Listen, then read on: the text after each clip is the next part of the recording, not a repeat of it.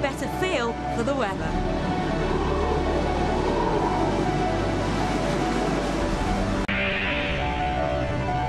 A better feel for the weather.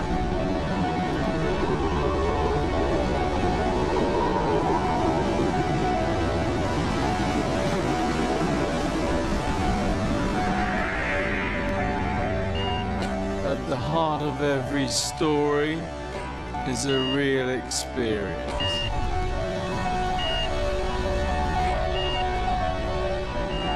Five News, making sense in an uncertain world.